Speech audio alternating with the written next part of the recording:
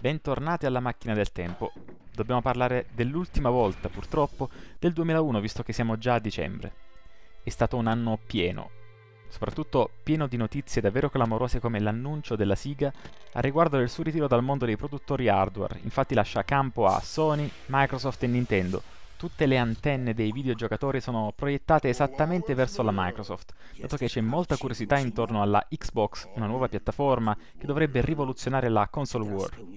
Senza dimenticare la Nintendo che con il GameCube vuole riscattare il dignitoso comunque secondo posto archiviato col Nintendo 64, nella precedente generazione ovviamente. Fra tanti punti interrogativi, una certezza. La Sony, con la sua PlayStation 2, conquista il mondo.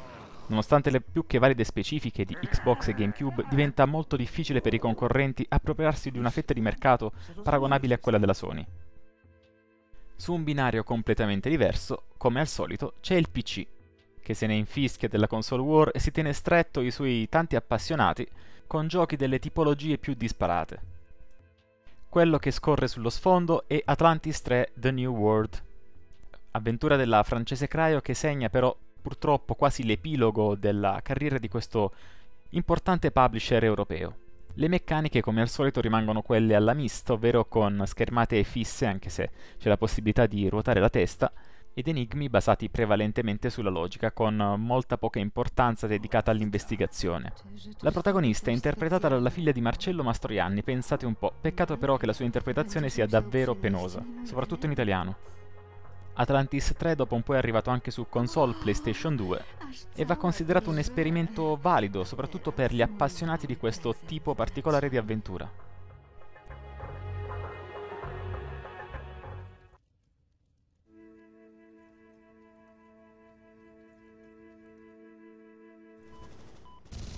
C'è il ritorno di un nome famoso, quello di Comanche,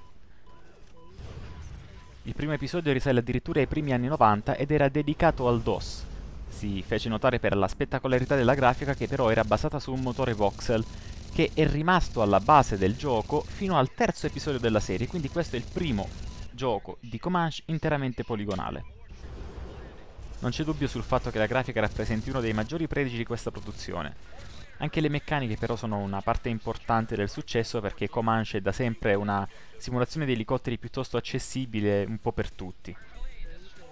Da notare purtroppo con un po' di malinconia che si tratta anche dell'ultimo Comanche di sempre.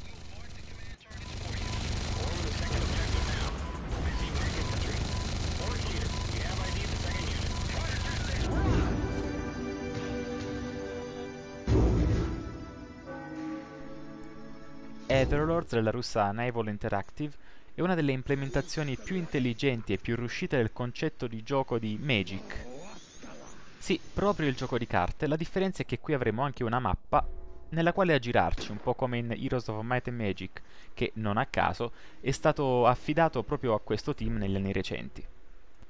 Quando incontreremo dei nemici la visuale cambierà, sarà molto più ravvicinata e dovremo fronteggiarci su un campo di battaglia lottando appunto con i poteri speciali derivanti da queste carte.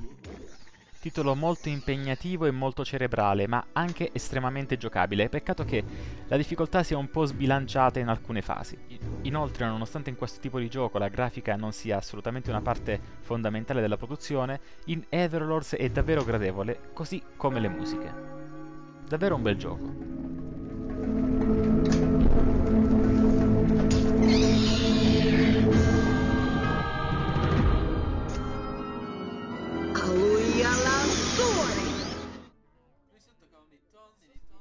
Nella macchina del tempo di novembre abbiamo parlato di Wing Commander 2 per PC, una simulazione di volo spaziale decisamente semplificata, molto arcade, che era tutta focalizzata sui combattimenti.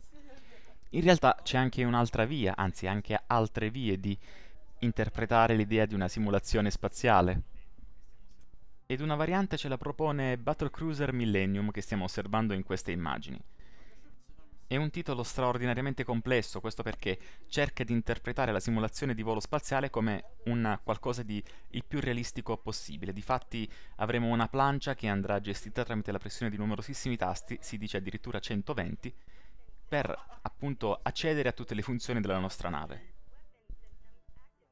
È il seguito di Battlecruiser 3000 AD, che è stato un videogioco dalla gestazione davvero molto travagliata. Questo seguito è molto più lineare, molto meno innovativo del suo predecessore e di conseguenza è stato anche meno amato dal pubblico. Questo titolo purtroppo soffre di difetti molto evidenti come una grafica molto obsoleta, un ritmo decisamente lento e tanti bug che sono oggettivamente ingiustificabili, vista anche la lunga gestazione appunto del gioco. Anche in questo caso si tratta dell'ultimo episodio di questa saga, fatta eccezione per l'edizione Gold di questo Millennium, che ha semplicemente implementato alcuni aggiornamenti che migliorano l'esperienza generale.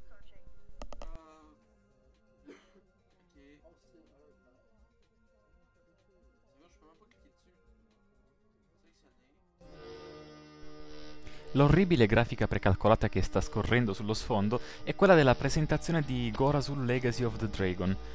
Si tratta di un gioco di ruolo occidentale che voleva mettersi in scia a Baldur's Gate che godeva di grande popolarità in quel periodo. Purtroppo lo spunto è quello giusto, non l'esecuzione. Prodotto da una compagnia tedesca ma sviluppato interamente in Polonia, questo Gorasul lascia trasparire la totale inesperienza di questi ragazzi con i giochi di ruolo. Non si può assolutamente considerare un buon prodotto in senso assoluto, tuttavia poteva essere un buon riempitivo per quelli che non riuscivano a passare neanche un po' di tempo senza un western RPG. Purtroppo come molti altri contemporanei, questo Gorasul soffre di bug veramente letali per il divertimento. Il gioco si blocca in continuazione, ci sono numerosissime imperfezioni. Di conseguenza serve pazienza anche per questo. Bello però il tema musicale principale,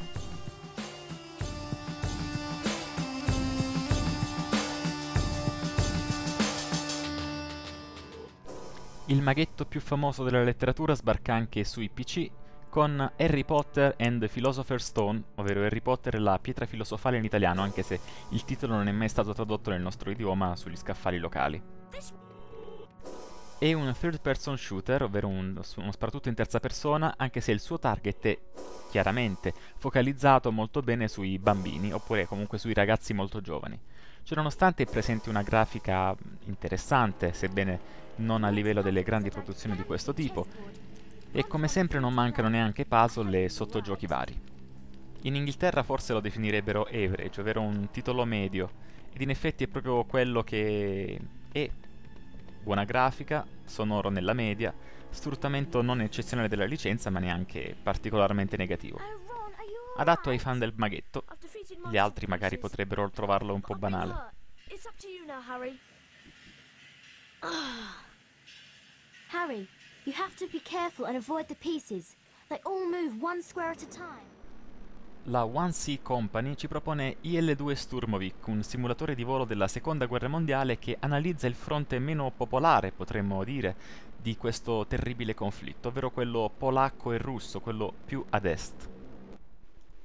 Non è un caso di conseguenza che il nome del gioco faccia riferimento ad uno dei velivoli più celebri della flotta russa,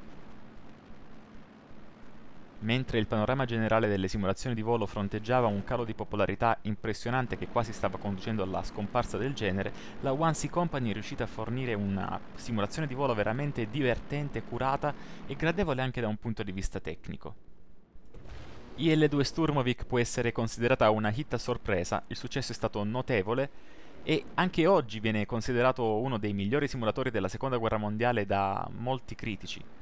Inoltre è ancora piuttosto gettonato dagli appassionati. Nel tempo si sono seguite espansioni che hanno riguardato non soltanto il conflitto sul fronte orientale, ma anche altri, compreso quello pacifico, in cui al giocatore veniva concessa l'opportunità di vestire i panni dei kamikaze.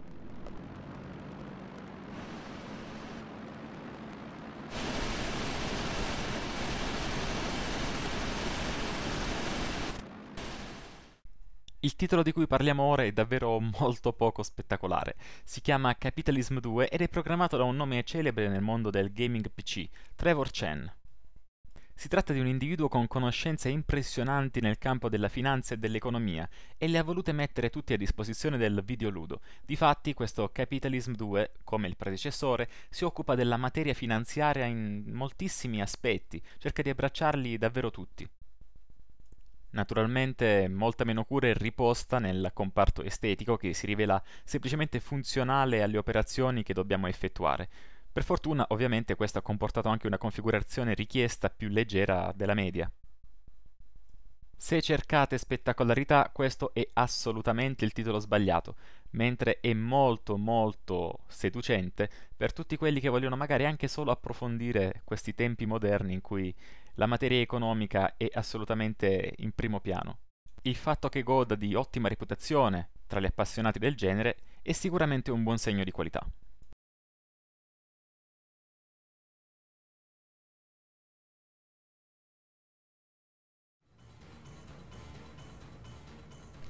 Dragon Slayer era nato nel clamore generale nelle sale giochi e si presentava come un filmato da seguire nel quale poi effettuare alcune mosse al momento opportuno per far proseguire appunto il video.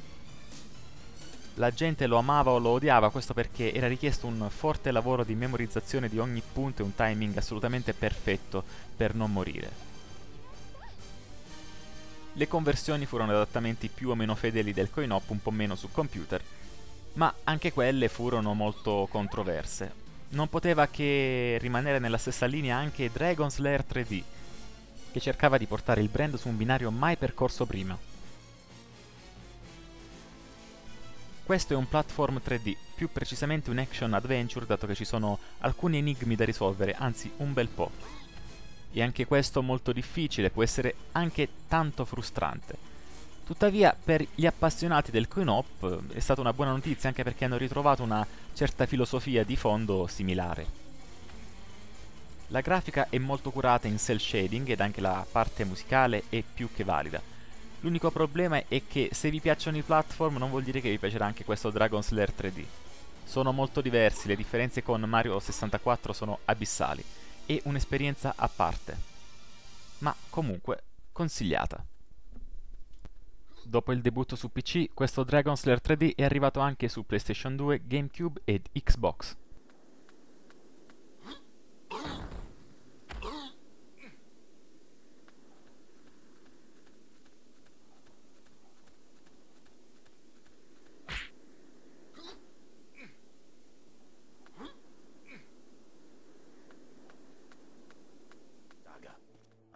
Chi come me ha amato Dune sia nella versione cartacea che nel videogioco del 1991 proposto dalla Cryo, non poteva che scodinzolare all'idea di rivederne una nuova versione nel 2001, a ben dieci anni di distanza, con tutto il progresso tecnologico che c'era stato. Sempre lo stesso publisher francese che, come abbiamo anticipato, versava in condizioni critiche, finanziarie e creative, produce una vera e propria oscenità. Lo spunto per darvi un'idea più concreta possibile della superficialità con la quale è stato svolto questo lavoro ce la dà il titolo stesso, Frank Herbert Dune. Peccato che Frank si scriva con la sola K senza la C. Quindi il primo strafalcione è addirittura nel titolo del gioco, nella schermata iniziale sulla confezione. Possiamo immaginare quanto possano essere ottimizzate le meccaniche del gameplay che dovevano riguardare una sorta di clone di Metal Gear Solid, semplicemente improponibile.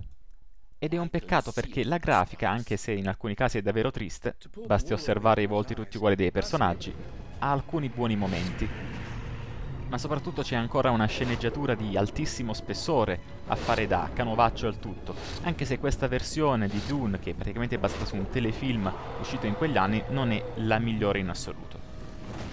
Quel che è certo che dopo giochi del genere dispiaceva un po' meno della triste fine della Cryo.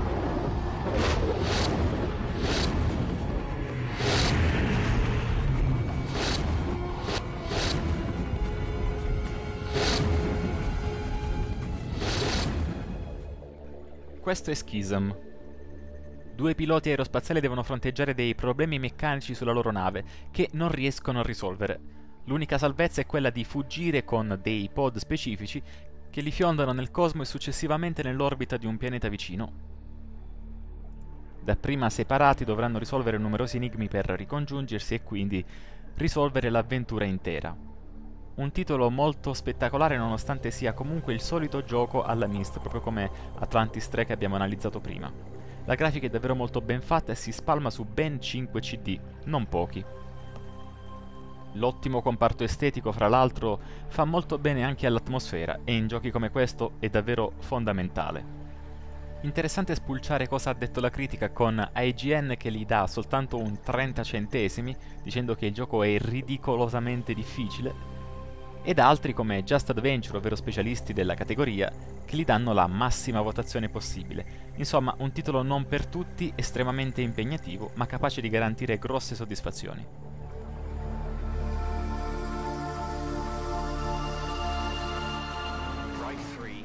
Non sarà arrivato con il blasone di alcuni colleghi su console, ma Rally Trophy si è rivelato davvero un ottimo titolo di rally. Lo sviluppatore del resto è la Bugbear, ovvero quelli di Flatout ed anche di Sigarelli Revo. La peculiarità di questo titolo è di concentrarsi sullo sfruttamento di auto d'epoca. Ci sono 11 vecchie macchine da controllare su percorsi sterrati ed accidentati e questo è sicuramente molto divertente anche perché la qualità della simulazione è apprezzabile. Non siamo di fronte ad una grafica di altissimo profilo, ma comunque fa più che dignitosamente il suo dovere. Insomma, un'alternativa più che convincente al solito Colin McRae.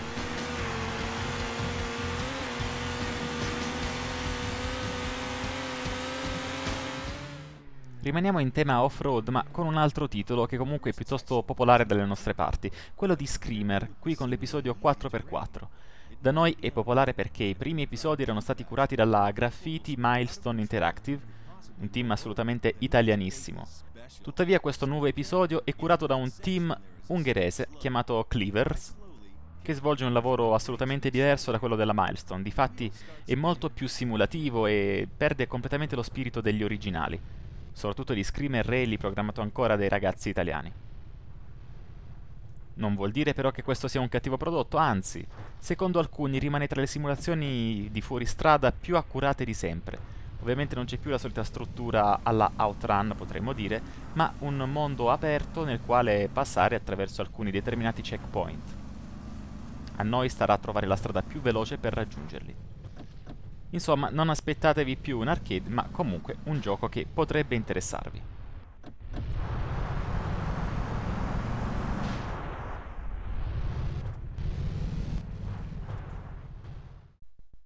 Come ben sappiamo, il panorama degli RTS, gli strategici in tempo reale, è sempre stato sovraffollato, ma soprattutto in questi primi anni 2000. Di conseguenza lo sviluppatore Storm Region per Swine cerca di implementare qualche cosa di inedito. Innanzitutto comincia con l'eliminare dalla scena l'abusatissima razza umana che viene rimpiazzata da diverse specie animali. Un'altra novità meno stilosa ma più di impatto sul gameplay è la cancellazione di qualsiasi tipo di risorsa, economica oppure mineraria.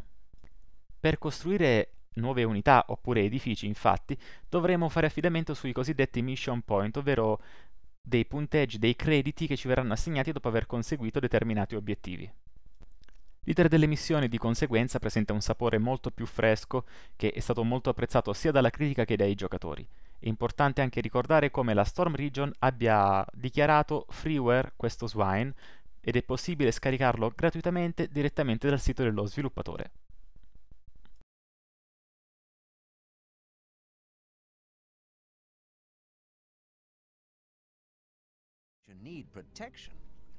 In una lontana terra misteriosa si consuma un terribile conflitto fra orchi ed umani. La tragica situazione richiede una certa abbondanza di risorse minerarie e lo Stato, i governatori del luogo decidono di costringere dei prigionieri, dei criminali, a lavorare sotto costrizione. Per farlo hanno chiesto a dei potentissimi maghi di creare una barriera intorno alle miniere in modo tale che essi non possano scappare. Come al solito le cose non vanno per il verso giusto, di conseguenza la barriera si allarga a dismisura e finisce con l'imprigionare gli stessi maghi, con tutto ciò che ne consegue. Noi impersoniamo un ragazzo dapprima senza esperienza, che poi dovrà ovviamente, come al solito, farsi carico della situazione e risolvere ogni questione. Per chi non lo conoscesse, stiamo parlando di Gothic, un titolo sviluppato da un team tedesco che si chiamava Piranha Bytes. È stato un titolo di grande successo, un po' a sorpresa anche lui giunto sul mercato, mentre tutti stavano guardando nomi più altisonanti provenienti dal panorama console. La libertà di movimento è più contenuta rispetto ad altri campioni dello stesso genere, ma la giocabilità è decisamente notevole. È rimasto per quasi un anno confinato al solo territorio tedesco a causa di barriere linguistiche, poi è arrivata questa traduzione in inglese che ha aperto le porte a tutti. Davvero un bel prodotto, alternativo a molti altri giochi di ruolo, nonché probabilmente migliore di alcuni suoi seguiti. E con Gothic si chiude anche la nostra escursione nel panorama Windows. È tempo di console, portatili e non. There should be some old weapons by the derelict mine further down the canyon. But don't go and start a war.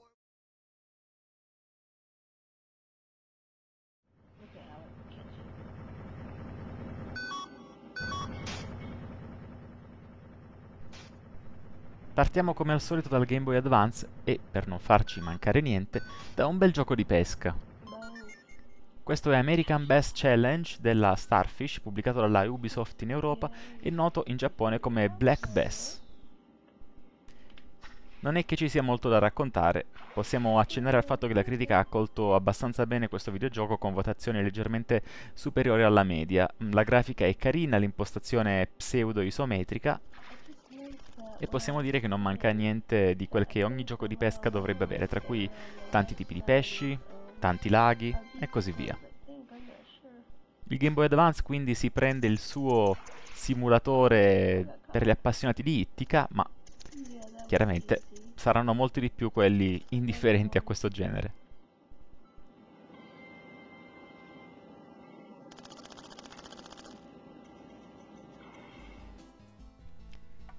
C'è davvero bisogno di commentare questo gioco? Mm, forse no, ma comunque proviamo a dire qualche parolina. Dunque, questo è Tetris Worlds, la versione, l'ultima versione, almeno per quanto riguardava il 2001 ovviamente, dell'immortale puzzle game di origine russa.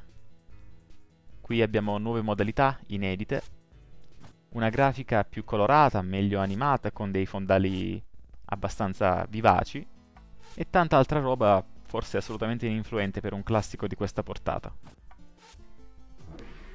Per concludere, Tetris e Tetris, adesso c'è anche su Game Boy Advance, i fan saranno stati felicissimi della cosa, ma prima o poi sarebbe arrivato, lo sapevano tutti.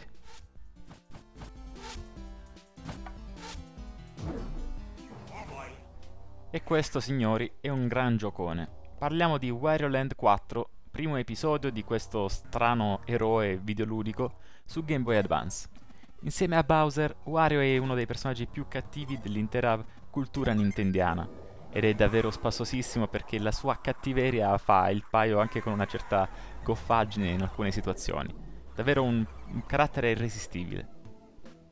La serie di Wario Land non entra in contrapposizione con Super Mario Land, anzi, è davvero diversa perché qui tutto è sempre un platform game bidimensionale, ma è comunque molto più orientato alla struttura puzzle.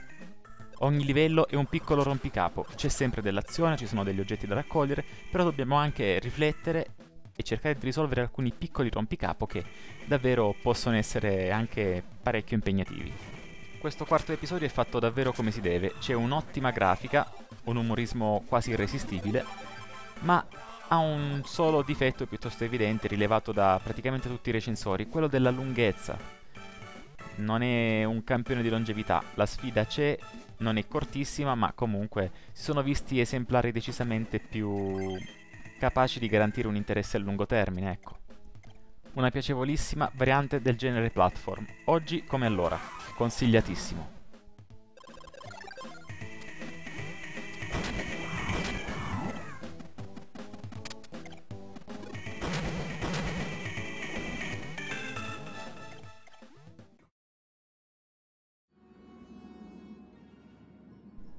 Siamo arrivati alle console da gustarsi dalla comodità del proprio divano e partiamo dalla Xbox, precisamente da Azuric, unica esclusiva Xbox del mese.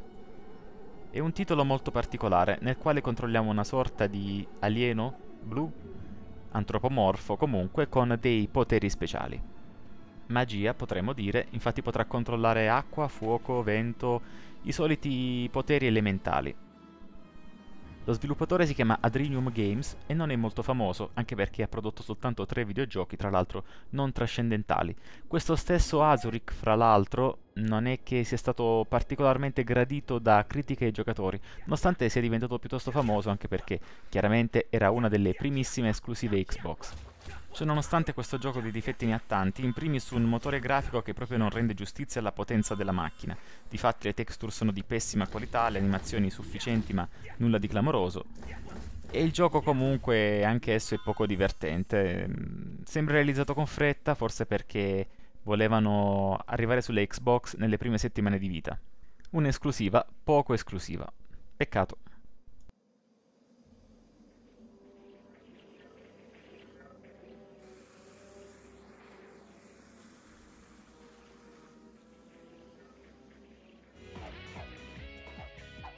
Magari non ci scommetterei, ma forse uno dei maggiori promotori della letteratura cinese nel mondo occidentale è Dynasty Warriors, che qui arriva con il suo terzo episodio. Dico questo perché è basato sul romanzo dei Tre Regni, che è una delle opere appunto più importanti del patrimonio culturale cinese. Dynasty Warriors sin dai suoi primissimi episodi è stato molto criticato, per quanto anche amato da un'altra altrettanto abbondante fetta di giocatori. Questo perché questo titolo mette il giocatore nella condizione di impersonare un eroe di questo romanzo che ha dei poteri in combattimento assolutamente straordinari, quindi ha la possibilità di affrontare da solo interi eserciti ed avere anche la meglio, nonché contare su numerosi poteri speciali. Il gameplay però rischia di risultare spesso monotono, specialmente per chi non ha la pazienza di addentrarsi con la dovuta cura nelle meccaniche. Il modello di Dynasty Warriors comunque è sopravvissuto molto bene alla prova del tempo, di conseguenza alcuni aspetti positivi certamente ci sono. In questo terzo episodio la formula è quella molto simile che conosciamo ancora oggi, ma si distingue una qualità grafica migliorata rispetto al secondo episodio, ma che presenta ancora un bad clipping piuttosto evidente. Ciononostante, il succo del gioco è ancora quello ben noto. Il gioco è nato su PlayStation 2, ma convertito con circa un anno di ritardo anche su Xbox.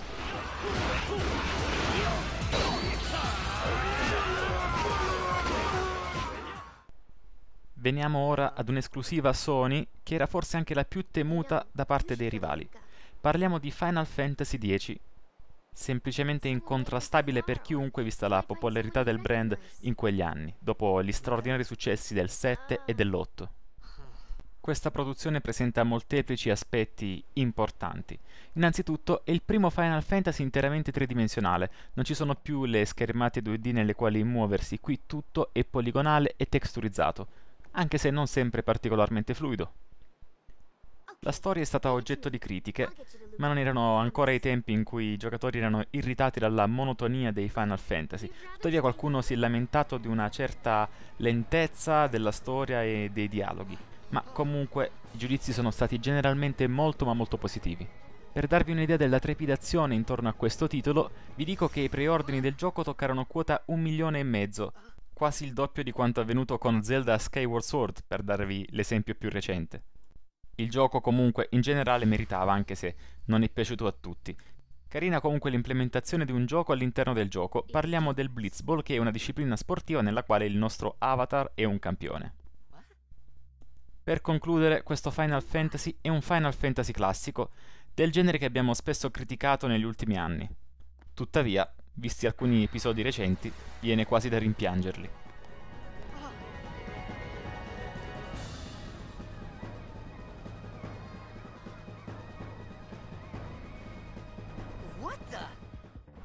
La serie di SSX arriva già al secondo episodio con Tricky, ma in realtà si tratta di un mezzo seguito, dato che è praticamente lo stesso gioco con pochissime aggiunte. Inizialmente è una esclusiva GameCube ma soltanto per un mese, dopodiché arriverà anche la conversione PlayStation 2 che sarà praticamente identica. Dopo altri pochi giorni arriverà quella per Xbox e poi addirittura un episodio per il Game Boy Advance che sembra molto divertente. Giocabilità perfetta, colonna sonora azzeccata e addirittura partecipazioni per dare le voci ai protagonisti di questo gioco che hanno chiamato in causa addirittura la star Lucy Liu, uno splendido gioco per i possessori di GameCube ed Xbox, un po' meno per chi aveva una PlayStation 2 dato che era quasi superfluo vista la somiglianza con il primo SSX.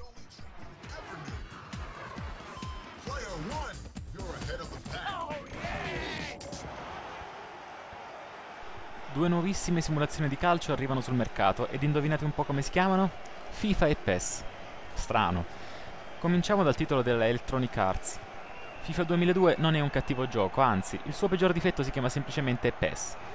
Questo gioco non riesce a competere con il capolavoro della Konami, ma tuttavia riesce ad imporre alcune novità valide, come ad esempio una nuova gestione dei passaggi che prevedono una barra che permette di dosarli molto meglio. Prima infatti era decisamente difficile utilizzare i passaggi filtranti. La grafica è sicuramente al passo con i tempi e rappresenta uno dei migliori aspetti della produzione. Chiaramente bisogna fare un discorso diverso per i possessori di PlayStation e per quelli PC. Se sulla console Sony infatti c'era un rivale quasi inattaccabile, sui sistemi Windows c'era una concorrenza assai meno fornita, di conseguenza era una, un acquisto quasi obbligato per gli appassionati di calcio. Una piccola curiosità che oggi fa quasi ribrezzo. Alcune squadre non hanno la licenza ufficiale, di conseguenza i giocatori sono palesemente inventati.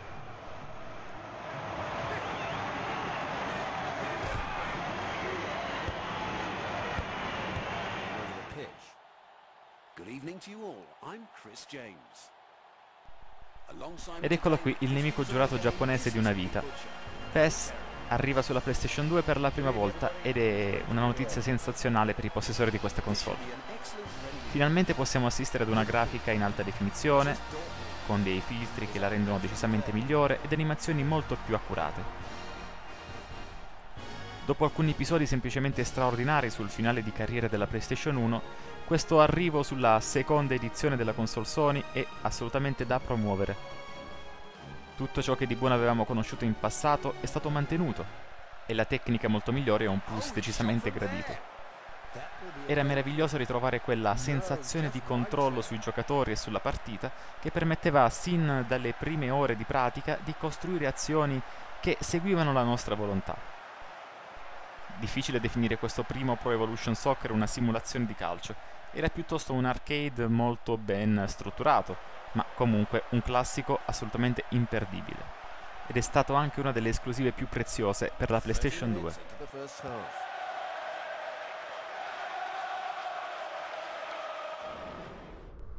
Forse il nome della Acclaim Seltenham è piuttosto anonimo. Molto meglio parlare di Probe Entertainment, un team che negli anni 90 ha fatto furore con conversioni e giochi originali davvero molto gradevoli. Il cambio di nome avvenne quando il loro publisher di riferimento, la Acclaim, li acquisì Quel che non interessa comunque è che essi siano gli sviluppatori di Extreme G, una saga iniziata su Nintendo 64 che si distinse per alcune somiglianze con Wipeout a causa della grafica e dell'ambientazione futuristica, per il quale fu tra l'altro un rivale degno di nome. Peccato che ehm, soffriva di una grafica piuttosto scattosa, soprattutto nelle versioni PAL. Ciononostante la serie Extreme G ebbe abbastanza successo e si guadagnò la strada anche per la generazione successiva. Questo terzo episodio venne prima realizzato per PlayStation 2 e poi convertito, giustamente vista la sua origine nintendiana, per GameCube. Peccato però che sulla PlayStation la grafica fosse un po' scattosa, molto meglio qui sulla console Nintendo dove il rendering è decisamente superiore. Un bel gioco di corse, peccato che poi questa serie si sia un po' persa per strada, così come il suo publisher Acclaim.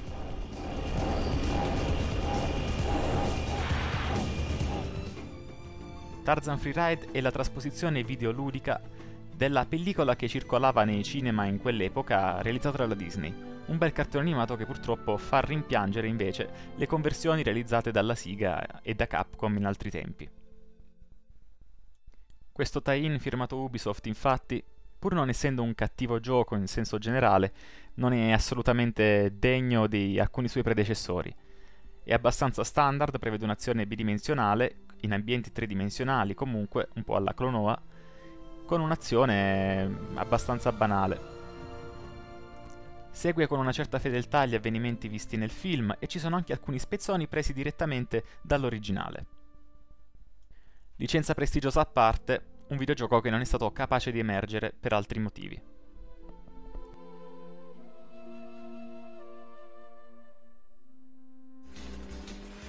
Passiamo ad un vero campione della faccia tosta. Bisogna dire che c'è ispirazione e plagio vero e proprio. Bene, Wave Rally appartiene sicuramente a quelli che si ispirano alla seconda categoria. Difatti è un clone abbastanza spudorato di Wave Race per Nintendo 64 a partire dal nome. Anche qui dobbiamo controllare delle moto d'acqua e passare tramite determinate porte, esattamente come quello che abbiamo dovuto fare nei capolavori nintendiani. Peccato però che la Eidos Interactive non sia riuscita a catturare anche l'anima del gioco, infatti qui ci sono dei bug, dei controlli meno precisi, una telecamera alquanto discutibile. Di conseguenza Wave Race rimane un capolavoro, questo qui non li si avvicina nemmeno. È uscito solo su PlayStation 2 dove era noto anche con il nome di Jet Ski Riders.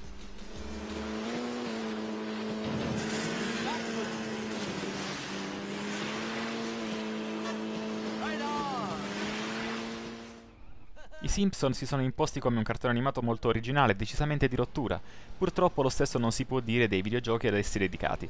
Difatti, per esempio, questo The Simpsons Road Rage, la Road Rage è praticamente la furia che i guidatori provano al volante, non può essere considerato neanche per sbaglio un videogioco originale, infatti è copiato integralmente da Crazy Taxi. Ma davvero, vi sono missioni che sono quasi indistinguibili dall'originale.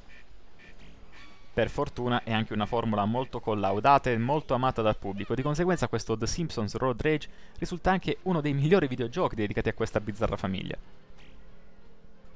Meglio originale o divertente? Forse in questo caso la seconda opzione è preferibile. Fra l'altro qui è anche presente una grafica piuttosto dignitosa. Questo titolo è stato pubblicato inizialmente per PlayStation 2 ma è arrivata immediatamente anche una conversione per Xbox e GameCube. I Simpson non potevano che raggiungere ogni piattaforma.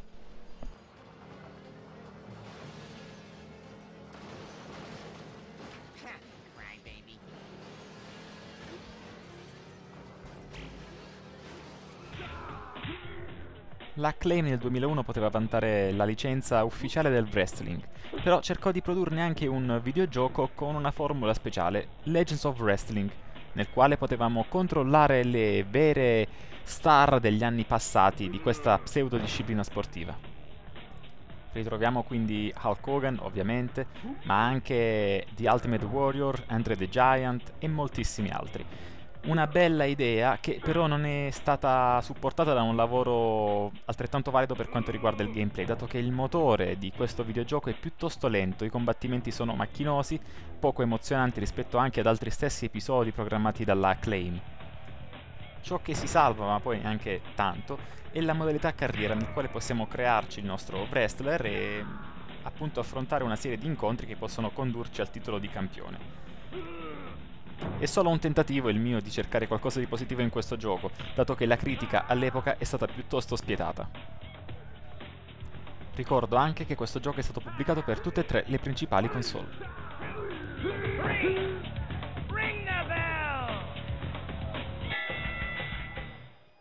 Quello degli Stormfront Studios è sicuramente un team di ragazzi capaci, che hanno anche avuto una certa predilezione per il cambio repentino di genere, infatti sono passati con una certa disinvoltura da giochi sportivi come i Madden a hack and slash come Demon Stone. Con Legend of Alondar cercano di percorrere la strada del gioco di ruolo, con risultati purtroppo meno che mediocri. Basta guardare la grafica che è veramente indescrivibile, orribile, veramente bruttissima poligonale, texturizzata, ma fatta malissimo. Per quanto concerne le meccaniche di base, basta segnalare che non siamo molto distanti dai classici JRPG, anche se questo titolo è occidentale, comunque più debitore verso la cultura giapponese, che presentano dei combattimenti a turni non particolarmente ben fatti, anzi. L'unica cosa buona forse è la mappa di gioco che è abbastanza estesa e che quindi garantisce una certa longevità, ma nulla di clamoroso anche in questo caso. Tanto chi avrebbe il coraggio di continuare l'avventura in una bruttura del genere?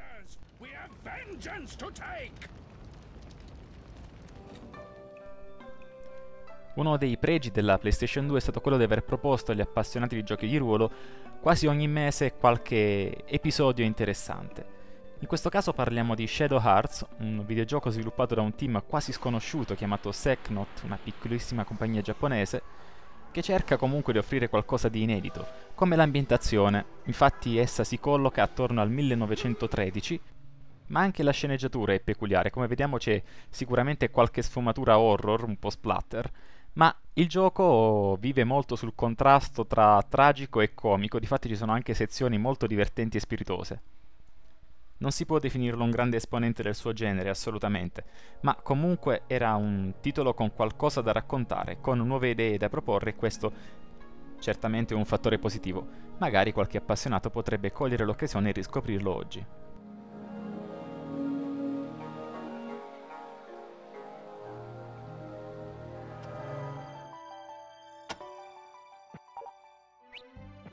Cosa ne pensate di un videogioco in cui l'unico scopo del giocatore è quello di gestire al meglio una fattoria, coltivando verdure, parlando con gli abitanti del villaggio vicino, insomma, godendosi la parte più sana del lavoro del buon contadino? Diciamo che potrebbe risultare interessante se qualcuno apprezza le partite condotte con una certa calma. Proprio a questo profilo di giocatore ha pensato la Natsume che dai tempi del Super Nintendo cura la saga di Harvest Moon, il primo episodio per la PlayStation 2 è un titolo dalle dimensioni ridottissime, un programma di appena 90 MB, che tuttavia contiene tutto il necessario per poter uh, adempiere ai doveri di ogni Harvest Moon che si rispetti. Quindi c'è una grafica essenziale ma comunque simpatica ed un villaggio con tutti i personaggi necessari per offrire una trama decente. Il nostro compito è quello di curare la fattoria di nostro zio che è morto prematuramente. Il vero problema è che ci sono i soliti aguzzini che intendono appropriarsene cercando di mettere al suo posto un grande parco giochi ed un centro commerciale. Una classica storia di cattivi quindi, ma nel tempo che ci rimane a disposizione nel gioco, quindi circa un anno, dovremo cercare di convincere tanto gli abitanti del villaggio a supportarci quanto gli aguzzini a desistere dal loro progetto. Se vi piace Harvest Moon, non ci sono motivi per i quali non dovrebbe piacervi questo Save the Homeland semplice, umile, ma anche divertente. È uscito però solo su PlayStation 2.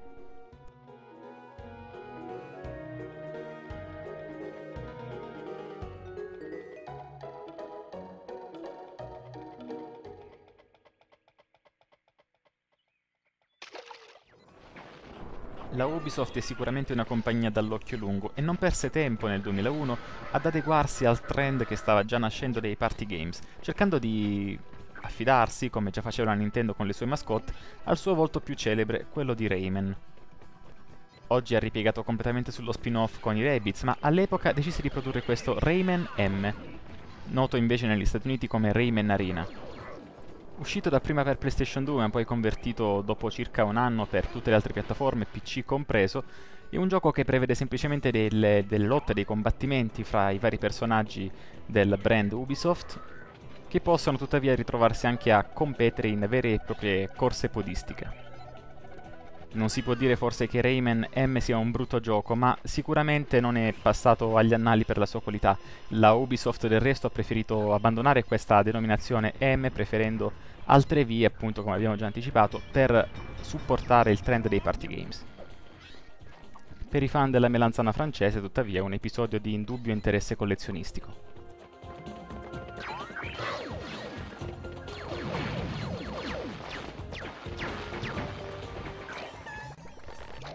Quella che scorre nelle immagini è una delle esclusive più riconoscibili dell'intero panorama di videogiochi Nintendo, e quegli esserini che si muovono freneticamente sullo schermo sono i Pikmin, degli alieni, degli extraterrestri davvero buffi, che chissà per quale ragione si ritrovano su un pianeta sconosciuto e pieno di ossigeno, assolutamente letale per i Pikmin. Di conseguenza loro hanno soltanto 30 giorni prima che il loro supporto vitale si esaurisca e devono cercare una maniera per fuggire da questo pianeta.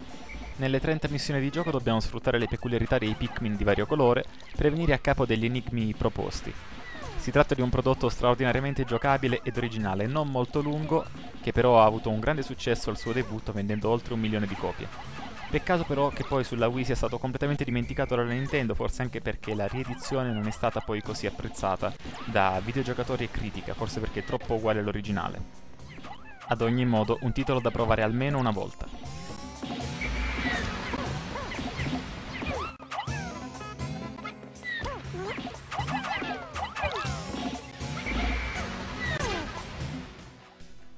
Per noi appassionati di retro gaming l'esistenza delle compilation di vecchi giochi è davvero un toccasana, soprattutto quando sono fatte bene come quelle della Namco. Questa che stiamo osservando è Namco Museum, una collezione già vista su altre piattaforme in passato a partire da Nintendo 64, PlayStation e Dreamcast. Però solo dalla console Nintendo e da quella Sega sono stati presi i giochi presente anche in questa edizione per PlayStation 2, GameCube ed Xbox, tuttavia soltanto per il territorio americano, non si sa per quale motivo. Ci sono anche giochi inediti, tra virgolette, ovviamente soltanto per quanto riguarda le collezioni, come Pac-Mania e Pac Attack. Non si sa per quale motivo, forse perché viene ritenuto il simbolo della Nemco, c'è stata una particolare attenzione per la pallina gialla. A parte questo sono presenti anche dei graditissimi remake come quello di Galaga e Dig Dug, due altri grandissimi classici. Una ghiotta occasione quindi per farsi un po' di cultura anni 80. È chiaro che ormai le compilation sono talmente diffuse che forse non c'è più bisogno di questa Namco Museum, peccato però comunque che la casa giapponese abbia limitato l'offerta al solo territorio americano.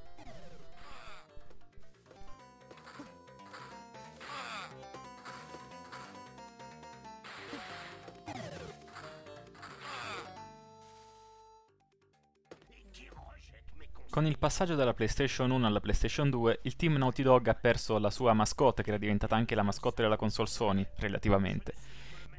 Parliamo di Crash Bandicoot acquistato poi dalla Vivendi. Di conseguenza i Naughty Dog hanno deciso di concentrarsi su qualcosa di completamente nuovo ed hanno inventato questo Jack and Dexter. Si tratta di due personaggi di pura fantasia che non fanno riferimento ad alcun animale esistente. Jack è un umanoide muto ma atleticamente molto prestante, mentre il suo compagno di sempre, Dexter, è anche egli un umanoide ma lo rimane per molto poco tempo dato che subito gli succede qualcosa di davvero brutto. A parte questo, è lui che sarà quello che si occuperà di tutte le chiacchiere necessarie per farci compagnia durante il gioco. La coppia funziona e la Sony ha avuto molto piacere nel supportare nuovi episodi di questa saga. Ma parlando di questo debutto di The Precursor Legacy, come sottotitolato, possiamo dire che è un platform davvero con i controfiocchi. C'è molta azione, molto veloce, è davvero un platform nel senso stretto della parola. Il jump and run è davvero la parte più importante di tutta l'esperienza. I combattimenti ci sono, ma sono secondari. La grafica inoltre era davvero un ottimo spot per la PlayStation 2, dato che poteva vantare una grossa conta poligonale ed un frame rate fisso a 60 granitici frame per secondo. Per molti videogiocatori questo è anche il migliore episodio della serie.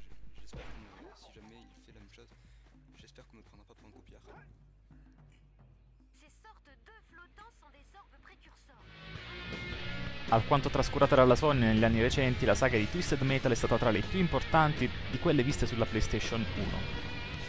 Consisteva in combattimenti veicolari molto spettacolari, che erano anche di una certa violenza. Di conseguenza lo sviluppatore ha deciso di tentare anche di produrre una versione un po' più edulcorata, magari non per bambini, anche se il primo nome del gioco era Twisted Metal Kids, ma comunque senza temi violenti hanno quindi optato per delle macchinine radiocomandate che hanno comunque la loro potenza di fuoco. La grafica è abbastanza curata, la giocabilità c'è sicuramente, ma secondo la critica questo videogioco non è paragonabile ai tre episodi precedenti. Infatti è il quarto Twisted Metal, probabilmente il peggiore di tutta la storia.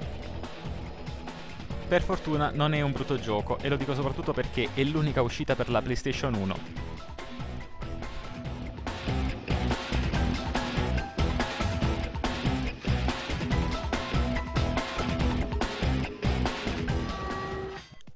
pulsazione se la concede anche il Nintendo 64, che si gode il terzo episodio di Tony Hawk Pro Skater. Un ottimo gioco programmato divinamente sulla console Nintendo. La sfrutta veramente in maniera dignitosa anche perché riesce a vantare una colonna sonora cantata, campionata anzi, quindi davvero difficile da fare su cartuccia. Fra l'altro questa colonna sonora è anche di qualità meno compressa, quindi molto più orecchiabile dall'output decisamente più gradevole. Il gioco inoltre è quello che conosciamo da sempre, molto giocabile, un po' monotono perché c'è da fare sempre i soliti trick dall'inizio alla fine. Però a chi piace il genere eh, può sicuramente trovare in questo Tony Hawk 3 un ottimo prodotto, assolutamente consigliato ancora oggi.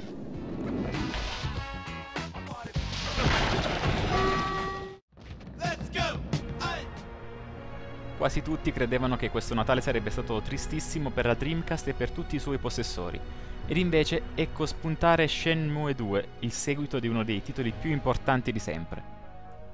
È uno splendido canto del cigno per questa console, anche se l'idea di Yu Suzuki poi non eh, è perfettamente idonea a tutti i tipi di giocatori. e questa è anche la ragione per la quale la Siga non è riuscita a ricavare dalle vendite di questo prodotto abbastanza soldi da poter compensare le mastodontiche spese di sviluppo di questo Shenmue 2. A coloro i quali danno al gioco il tempo per ingranare, però si apre un universo meraviglioso fatto di una storia estremamente coinvolgente ed emozionante un mondo pulsante, pieno di cose da fare. Shenmue 2 può considerarsi opera d'arte tanto per i contenuti stilistici che per quelli tecnici, dato che rappresenta anche un'ottima prova per la Dreamcast dal punto di vista grafico. Un gioco storico che, purtroppo questo possiamo anticiparlo, non regala al giocatore un finale definitivo. La storia di Shenmue è ancora in sospeso e tutti pregano perché qualcuno decida di riportarlo in vita su una console qualsiasi della nuova generazione. E così io vi lascio alla ricerca di questo splendido videogioco della Siga e vi saluto perché la macchina del tempo di dicembre 2001 finisce qui e noi ci risentiremo per quella di dicembre 1991 ormai. Se volete tuttavia potete regalarci una vostra riflessione, opinione o ricordo qui nella pagina dei commenti.